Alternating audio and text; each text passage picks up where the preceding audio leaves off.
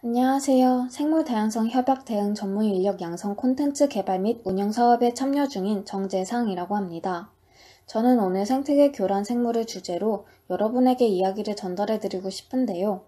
혹시 생태계 교란 생물에 대해 들어보신 적이 있으신가요?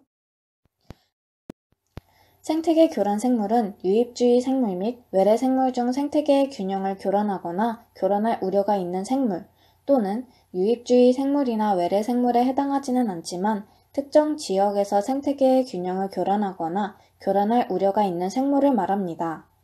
현재 포유류 1종, 양서파충류 4분류군, 어류 2종, 갑각류 1종, 곤충 6종, 식물 16종이 생태계 교란 생물로 분류되어 있습니다.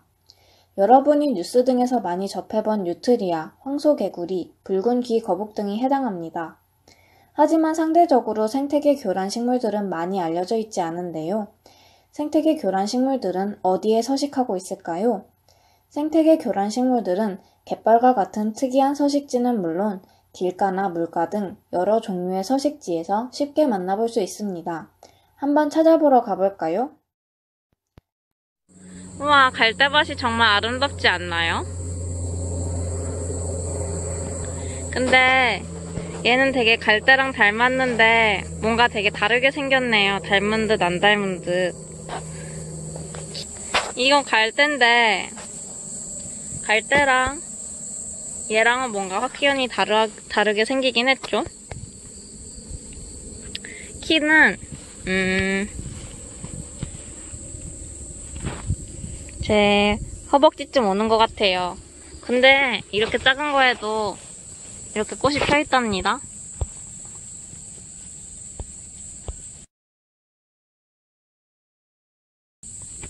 과연 이것의 정체는 무엇일까요?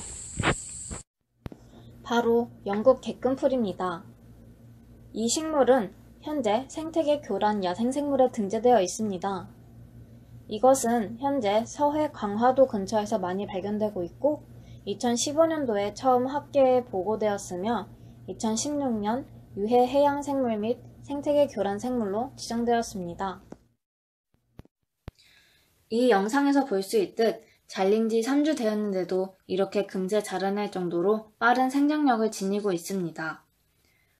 이 지역은 영국 개꿈풀이 국내에서 처음으로 보고된 곳입니다. 10년도 안 되었는데 이렇게 빽빽하게 뒤덮을 수 있다니 참 무섭지요? 그런데 이렇게 빠르게 증식해 뒤덮는 생물이 영국 개꿈풀만 있는 것은 아닙니다. 이곳은 강화 동검도의 길가인데요. 어떤 식물이 열매를 맺고 있네요. 이 식물은 바로 돼지풀로 가을철 많은 사람들이 겪는 꽃가루 알러지의 원인이 됩니다. 짠! 이곳은 서울의 난지 한강공원입니다. 사람들이 산책을 위해 많이 찾는 곳일 텐데요. 오늘은 제가 평일 오전에 방문해서 사람이 많이 없습니다. 과연 이런 곳에도 생태계 교란 식물이 있을까요?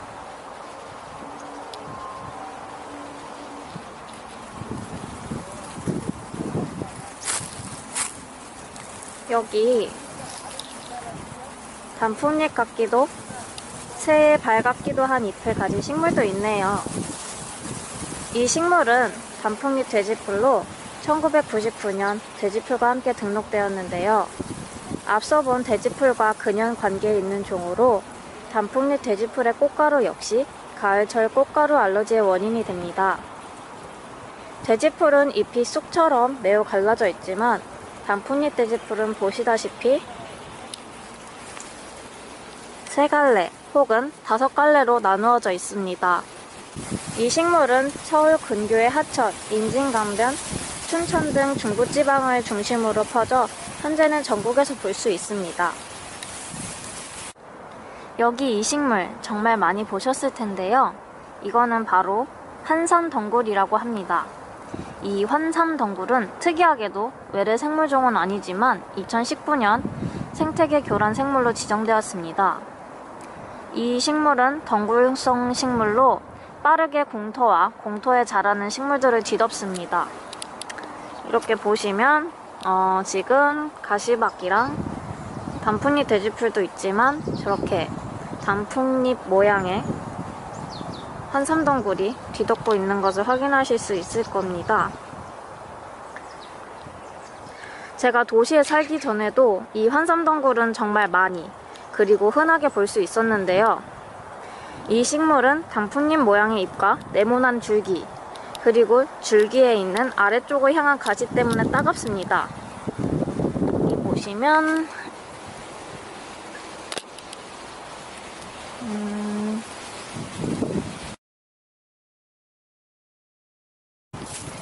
아.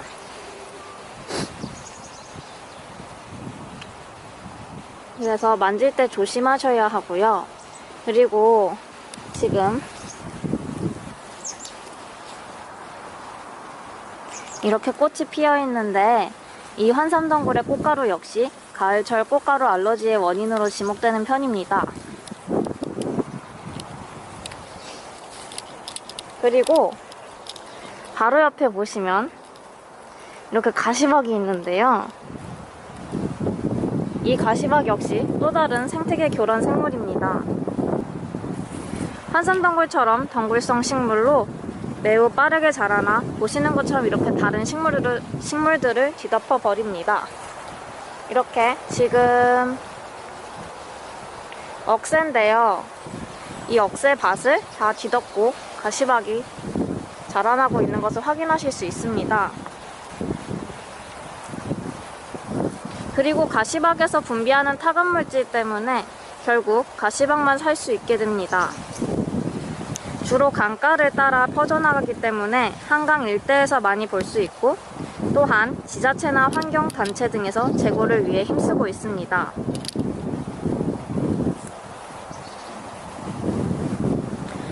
그리고 바로 옆에 또 다른 생태계 교란 식물이 있는데요. 가을에 길을 걷다 보면 예쁜 꽃들을 정말 쉽게 볼 수 있지만 알고 보면 생태계 교란 식물인 종이 또 하나 있습니다. 바로 미국 쑥부쟁이인데요. 자그마한 꽃들이 이렇게 한아름 피어 있습니다. 이 아름다운 모습 때문에 관상용으로 많이 심기도 했지만 너무나 잘 주위로 퍼져나가 다른 식물들의 삶의 공간까지 위협하여 2009년 생태계 교란 생물로 등록되었습니다.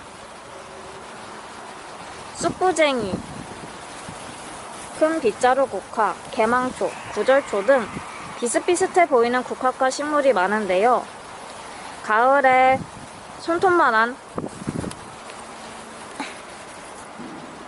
정말 손톱만한 이런 하얀 꽃들 또는 연보랏빛 꽃들이 꽃다발처럼 한 가지에서 많이 펴, 있, 펴 있으면 미국 쑥부쟁이로 볼 수 있습니다. 여러분 안녕하세요. 저는 지금 제가 다니는 학교 캠퍼스에 와 있습니다. 하얀 꽃들이 아주 복슬복슬하게 줄지어 있네요. 자세히 보시면 이렇게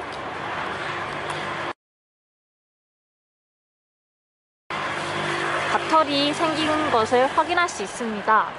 이제 열매를 맺는 거죠. 이 식물은 바로 서양 등골나물이라고 하는데요. 주로 서울을 중심으로 중부지방에서 볼 수 있는 식물입니다. 보시는 것처럼 약간 그늘진 곳을 선호하는 편이며 주로 8월에서 10월에 이렇게 흰색 꽃이 피웁니다. 자세히 보시면 암술머리는 실처럼 두 갈래로 갈라지는 것을 볼 수 있습니다. 이것은 사진으로 보여드릴게요.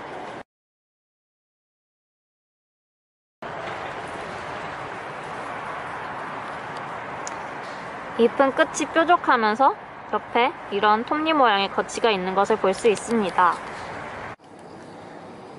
사실 저희 학교에는 애기 수영이 정말 언덕을 뒤덮을 정도로 웅장하게 자라고 있는데요. 지금 보시는 푸른 부분이 아닌 붉은 부분이 바로 애기 수영이 있던 자리입니다. 애기 수영의 경우 봄에 꽃이 피고 여름에 열매를 맺고 가을에 시들어 버려서 지금은 아쉽게도 볼 수가 없습니다.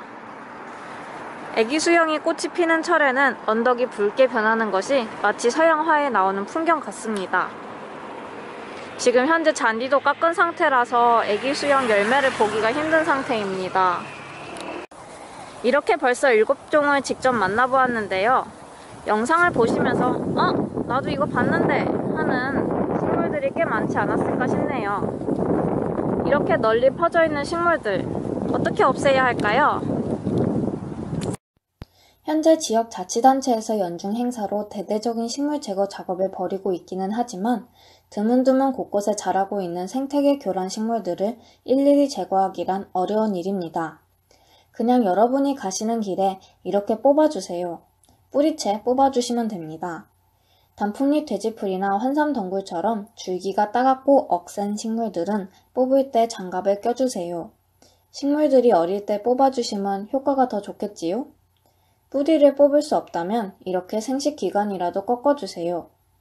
지금까지 생태계 교란 생물이 뭔지, 쉽게 볼 수 있는 생태계 교란 식물에는 무엇이 있는지, 보면 어떻게 행동해야 할지 간단하게 설명해 드렸습니다. 길을 가시다 이런 식물들을 보게 된다면 그냥 지나치지 마시고 5초라도 관심을 가져주세요. 지금까지 정재상이었습니다. 끝까지 봐주셔서 감사합니다. 본 영상은 환경부 국립생물자원관의 주최로 만들어졌습니다. 구독과 좋아요 부탁드립니다.